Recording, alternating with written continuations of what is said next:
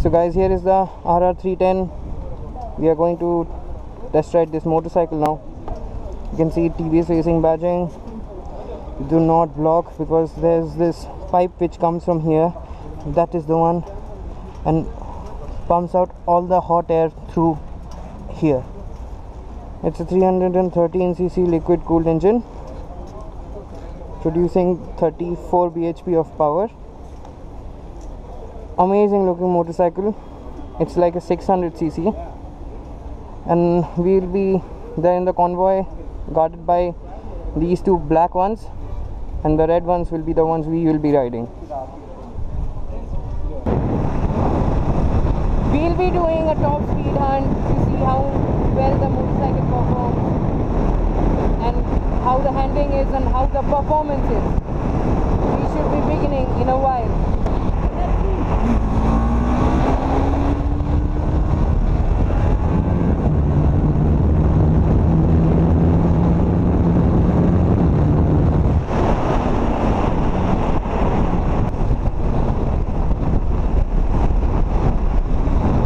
here is the straight we will see how much we can do here. Let's wait let's wait let's wait let's wait. And go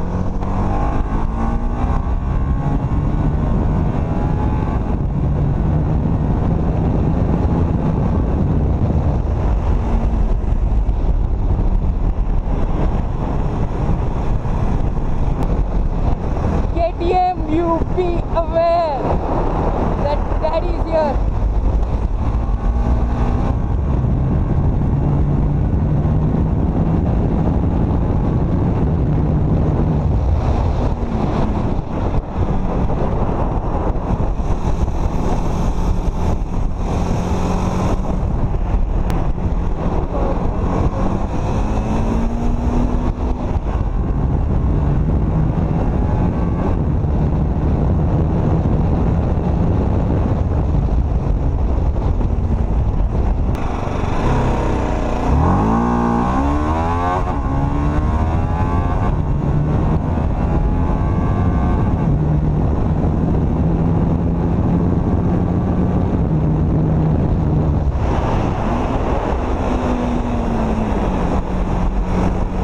Go, let them go, let them go. Build up the revs, build up the revs, and then go.